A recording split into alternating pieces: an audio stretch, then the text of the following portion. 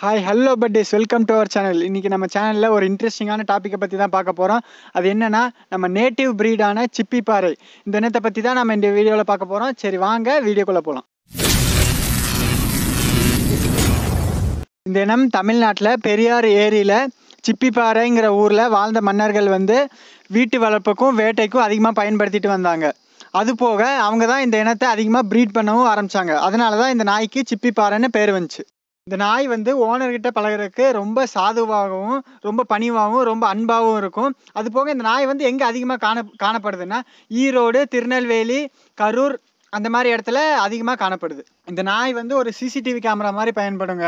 அதனால அதனாலேயே இந்த வீட்டுக்குள்ளே வந்து யார் இந்த நாயோட தோற்றத்தை பார்த்தே பய வரக்க பயப்படுவாங்க. ரொம்ப பயப்படுவாங்க. இந்த நாயோட தோற்றத்தை பார்த்தாலே. அது போக இந்த நாய் குறைக்கிற சவுண்டு வந்து கண்ணீர் கண்ணீர் அதிகமாக இருக்கிறதுனால இந்த நாயை பார்த்தாலே நிறைய பேர் பயப்படுவாங்க. அதனால நாய் இருக்கிற ஏரியா பக்கமே வரக்க திருடர்கள்லாம் பயப்படுவாங்க. அதை அதனாலேயே இந்த நாயை வந்து நிறைய போலீஸ் போலீஸ் டாகாகவும் யூஸ் பண்ணாங்க. பழங்க அப்போ ஆரம்ப காலகட்டத்தில். இப்போவும் சில இடத்துல இருக்குது இருந்தாலும் இப்போ அதிகமாக இந்த நாய் வந்து எங்கேயும் தென்படுறதில்ல. இந்த நாய் வந்து பார்த்தீங்கன்னா அதிக மோப்ப சக்தி உடையதாகவும் மற்றும் ஒரு ஆறு டு ஒரு ஏழு அடி ஃபென்சிங் இருக்கு இல்லையா அதையும் அசால்ட்டாக தாண்டக்கூடிய தன்மை கொண்டதுங்க இந்த நாய். அதுக்கப்புறம் இந்த நாய் வந்து இந்த நாயோட வேகம்னு பார்த்தீங்கன்னா ஒரு மான் மான் எந்த அளவுக்கு வேகமாக ஓடும்? அது அதை விட அதிகமாக வேகமாக ஓடி மானையே வேட்டையாடும். அந்த காலத்தில் மானை வேட்டையாடுறதுக்கு மற்றும் பன்றி இந்த மாதிரி சின்ன சின்ன முயல் சின்ன சின்ன உயிரினங்களை வேட்டையாடுறதுக்குலாம் இந்த நாய் தான் பய பயன்படுத்திட்டு வந்தாங்க ஆரம்ப காலகட்டத்தில். நம்ம நாட்டில் சீட்டாக இருக்குங்க இல்லையா? அது அது கூட அதோட மேக்ஸிமம் ஸ்பீ ஸ்பீடு வந்து ஒரு அறுபது செகண்ட் வரைக்கும் தான் தாக்கு பிடிக்க முடியும் அதனால். ஆனால் இந்த நாய் வந்து சிப்பி பாறை. இந்த நாய் வந்து பார்த்தீங்கன்னா ஒரு மூணு நிமிஷம் வரைக்கும் அதோட வேகத்தை இதனால் தாக்கு பிடிக்க முடியும். அந்த அளவுக்கு இந்த நாயோட சிறப்பம்சமும் தன்மையும் அந்த அளவுக்கு அமைஞ்சிருக்கு. நாயோட சிறப்பம்சம் இருக்குங்க இல்லையா? இதோட கடிக்கும் தன்மை.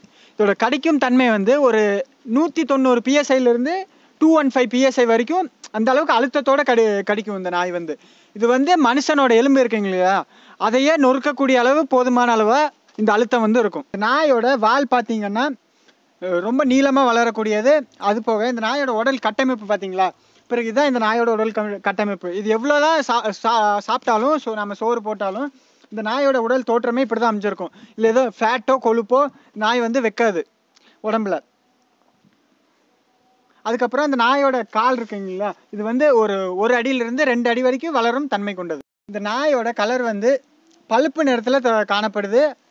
அது போக இந்த நாயோட பெண்ணினம் பெண்ணினத்தை வந்து கண்ணின்னு கூறப்படுது.